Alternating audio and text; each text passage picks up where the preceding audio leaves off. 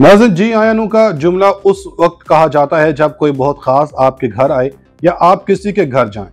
लेकिन सियासत में इसका इस्तेमाल करना इंतहाई मज़े का खेज है।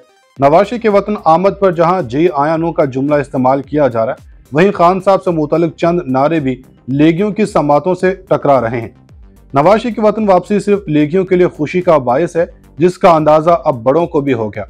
क्योंकि नवाशी के जलसे में जो नारे लगे हैं वो सबको ये वाशगाफ अल्फाज में बावर करवा गए कि इमरान खान का मुकाबला किसी के साथ भी मुमकिन नहीं। इतलात मौसू हुई है कि नवाज़ शरीफ का जलसा इमरान खान के नारों की नज़र हो गया और इस जलसे की सबसे बड़ी नाकामी का सेहरा भी खान साहब के सर जाता है। एक खबर यह भी आई है कि सबक आर्मी चीफ के गिद घेरा अब बस तंग होने को है। क्योंकि जो जो कारनामे कमर जावेद बाजवा ने किए, वो किसी से ढके छुपे नहीं। इमरान खान को अभी तक जो नुकसान पहुँचा है, इसमें ये मौसू भी सर फहरिस्त हैं। लेकिन यहाँ गौर तलब सवाल ये हैं कि नवाशी के जलसे की बड़ी नाकामी क्या है? इमरान खान के हक में नारे लगाने वाले कौन थे? कमर जवेद बाजवा अब किस बड़ी मुश्किल में फंसने वाले हैं? एफ़ आई ने क्यों तलब किया है? बड़ी खबरों ने तमाम सियासतदानों को चुकन्ना कर दिया। नाजन इमरान खान की पाकिस्तानी सियासत में मौजूदगी ने सियासतदानों को बेहाल कर दिया है। वो तेरह सियासी जमातों का इतिहादी टोला जो खान साहब की हुकूमत को हटाकर खुद इस पर काबज हो गया है। अब अपने ही वजूद से हर वक्त नाला रहता है। और बड़े मियाँ वतन वापस आकर भी बेसकूनी का शिकार हो गए। सिर्फ़ यही नहीं, इनका जो मीनार पाकिस्तान का जलसा था, उसे भी ऐसी नाकामियों का सामना करना पड़ा है। क्या आप लीगी रहनुमा कुछ अरसा जलसा करने से पहले सोचेंगे? इतलात है कि नवाशी के जलसे में इमरान खान वजी अजम के नारे लगे, जिसने बड़े मियाँ को अच्छा खासा जहनी तौर पर डिस्टर्ब किया। और इन्होंने छोटे मियाँ को एक ऐसा हुक्मनामा जारी किया है, जिसे सुनकर लीगी कारकुनों के कानों से भी धुआँ निकलने लगा। वो हुक्म क्या था? नूनी के जलसे में इमरान खान के नारे लगाने वाले पीटीआई के कारकुन थे या नूनी के? खबर यह भी जहरी गर्दिश है कि सबक आर्मी चीफ कमर जावेद बाजवा को एफ़ आई ए ने तलब किया है और इन पर एक ऐसा केस है जिससे इनकी अब जान खुलासी नहीं होने वाली। वो केस कौन सा है? एफ़ आई ए ने क्यों सबक आर्मी चीफ के अहल खाना को, उनके रिश्तेदारों को तलब किया? नूली के जलसे में इमरान खान के नारे लगने की बड़ी वजह क्या सामने आई है? अहम खबरें आ गई। जनरल बाजवा के गिर्द में घिरा तंग एफ़ आई ए ने उनके रिश्तेदार को तलब कर लिया। नवाज़ शरीफ का जलसा तो बढ़ गया। वजी अजम इमरान खान के नारों की गूंज। मगर ये मुहावरा नून लीग की मौजूदा सूरत पर फिट बैठता है कि खाया पिया कुछ नहीं और गिलास तोड़ा बारह आने।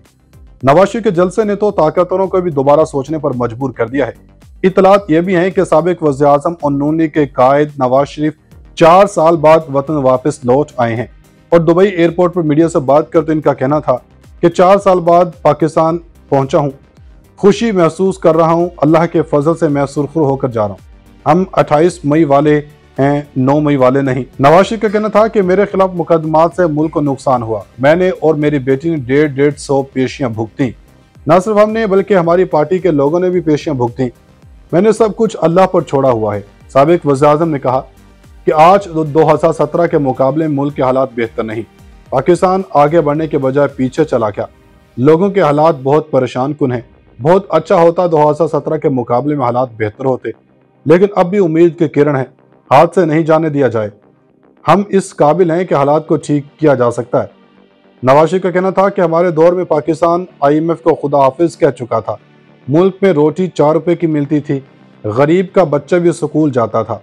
इलाज की सहूलत और दवाइयाँ मुफ़्त थीं। हमें आज दुनिया की बुलंद तरीन कौमों में शामिल होना चाहिए था। अफसोस की बात है कि नौबत यहाँ तक क्यों आई? क्या आपको आज वो पहले वाला पाकिस्तान नज़र आता है? कायद मुस्लिम लीग नून ने कहा कि इलेक्शन कमीशन मजाज इदारा है। इंतबात की तारीख का ऐलान वही करेगा। मेरी तरजीह वही है जो इलेक्शन कमीशन फैसला करेगा। मर्दनशुमारी हो चुकी है और हल्का बंदियाँ होनी है।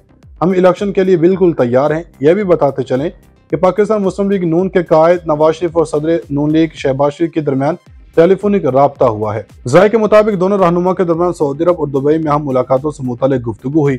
एक मौका पर मुस्लिम लीग नून की चीफ ऑर्गेनाइजर मरियम नवाज़ ने अपने वालिद के मुश्किल वक्त में शहबाज शरीफ के साथ खड़े होने पर भी अपने चचा की तारीफ़ की। नज़र बात करते हैं सबक आर्मी चीफ कमर जवेद बाजवा से मुतालिक। इतलात है कि जनरल बाजवा के समधी साबिर मिठू को एफ़ आई ए लाहौर ने मनी लॉन्ड्रिंग केस में तलब कर लिया। एफ़ आई ए की जानब से जारी होने वाले नोटिस के मुताबिक साबिर हमीद को बैरून मुल्क दौरों की तफसीत इनकम टैक्स गोशवारे और दो हज़ार सोलह से दो हज़ार तेईस तक की कारोबारी तफसीत भी फराम करने का कहा गया। एफ़ आई ए की जानब से साबर हमीद को इनकी और इनके अहल खाना की ऑफशोर कंपनियों की तफसलात भी मुहैया करने का कहा गया। जनरल रिटायर बाजवा के समझी से इनकी और इनके अहल खाना के ज़रिए इस्तेमाल गाड़ियों की तफसलात भी तलब कर ली गई हैं। दूसरी जानब, पाकिस्तान तहरीक इंसाफ पार्लियामेंटेरियन के सरबरा परवेज खटक ने कहा कि अगर निज़ाम यही रहा तो सौ साल तक तरक्की नहीं कर सकते। सियासतदान मुखलिस होते तो मुल्क का ये हाल ना होता। इन्होंने पिशावर में वर्कर्स कन्वेंशन से खिताब करते हुए कहा कि अगर निज़ाम यही रहा तो सौ साल तक तरक्की नहीं कर सकते। मैंने कभी चोरी नहीं की, ना ही किसी के सामने झुका हूँ। हम चोरों के खिलाफ मैदान में निकले हैं। पीटीए ने जो वादे अवाम के साथ किए, वो पूरे नहीं किए। सियासतदान मुखलिस होते तो मुल्क का ये हाल ना होता। दूसरी जनब सदर पाकिस्तान इस्तेकामी पार्टी सरदार तनवीर अलियास ने कहा कि मियाँ नवाज़ को पाकिस्तान आमद पर वेलकम करते हैं। अगर इलेक्शन हो तो इनको मौका मिलना चाहिए। सियासी और जमहूरी लिहाज से इलेक्शन में तमाम लोगों को मौका मिलना चाहिए। नवाज़ शरीफ मुल्क के तीन मरतबा वजी अजम और पंजाब के वजी अला रह चुके हैं। मीडिया से गुफ्तु करते हुए सरदार तनवीर अलियास ने कहा कि मियाँ नवाज़ शरीफ को शरीफ पाकिस्तान आमद पर वेलकम करते हैं। अगर इलेक्शन हो तो इनको मौका मिलना चाहिए। सरदार तनवीर अलियास ने कहा कि फलस्तीन पर इसराइली बरबरीत की शदीद मजम्मत करते हैं। फलस्तीन के मामले पर अकवा मुतदा अपना हक खोता जा रहा फलस्तीन की औरतों और बच्चों पर इसराइली जुल्म देख कर दिल खून के आंसर होता है। फलस्तीनी रियासत एक हकीकत है जिसे तस्लीम नहीं किया जा रहा। के दरमियान टेलीफोनिक रबता हुआ है। जाय के मुताबिक दोनों रहनुमा के दरमियान सऊदी अरब और दुबई में हम मुलाकातों से मुतल गुफ्तु हुई। एक मौका पर मुस्लिम लीग नून की चीफ ऑर्गेनाइजर मरियम नवाज़ ने अपने वालिद के मुश्किल वक्त में शहबाज शरीफ के साथ खड़े होने पर भी अपने चचा की तारीफ़ की। नज़र बात करते हैं सबक आर्मी चीफ कमर जद बाजवा से मुतालिक। इतलात है कि जनरल बाजवा के समधी साबिर मिठू को एफ़ आई ए लाहौर ने मनी लॉन्ड्रिंग केस में तलब कर लिया। एफ़ आई ए की जानब से जारी होने वाले नोटिस के मुताबिक साबिर हमीद को बैरून मुल्क दौरों की तफसीत इनकम टैक्स गोशवारे और दो हज़ार सोलह से दो हज़ार तेईस तक की कारोबारी तफसीत भी फ्राहम करने का कहा गया। एफ़ आई ए की जानब से साबर हमीद को इनकी और इनके अहल खाना की ऑफशोर कंपनियों की तफसलत भी मुहैया करने का कहा गया। जनरल रिटायर बाजवा के समझी से इनकी और इनके अहल खाना के ज़रिए इस्तेमाल गाड़ियों की तफसलत भी तलब कर ली गई हैं। दूसरी जानब पाकिस्तान तहरीक इंसाफ पार्लियामेंटेरियन के सरबरा परवेज खटक ने कहा कि अगर निज़ाम यही रहा तो सौ साल तक तरक्की नहीं कर सकते। सियासतदान मुखलिस होते तो मुल्क का ये हाल ना होता। इन्होंने पिशावर में वर्कर्स कन्वेंशन से खिताब करते हुए कहा कि अगर निज़ाम यही रहा तो सौ साल तक तरक्की नहीं कर सकते। मैंने कभी चोरी नहीं की, ना ही किसी के सामने झुका हूँ। हम चोरों के खिलाफ मैदान में निकले हैं।